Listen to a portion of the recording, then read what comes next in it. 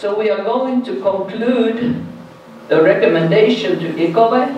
We recommend that the DIMEVET be classified, classified after stage one evaluation as holding the status of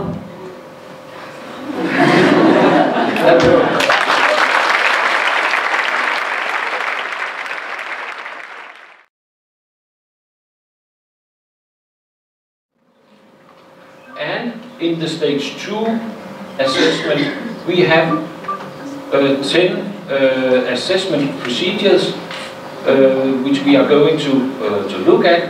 And the assessment procedures 1, 2, 4, 5, 6, 7, 8, 9 and 10 have been found satisfactory, while assessment procedure 3 has been found less satisfactory.